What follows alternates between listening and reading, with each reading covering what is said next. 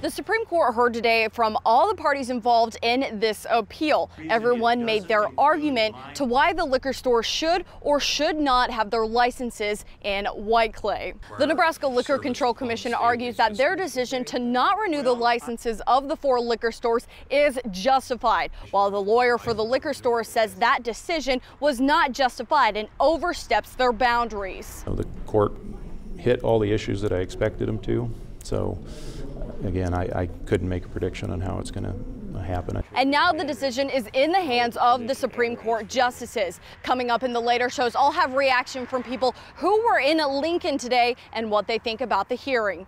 Reporting in Lincoln, I'm Miranda Christian, 3 News Now. Mm -hmm.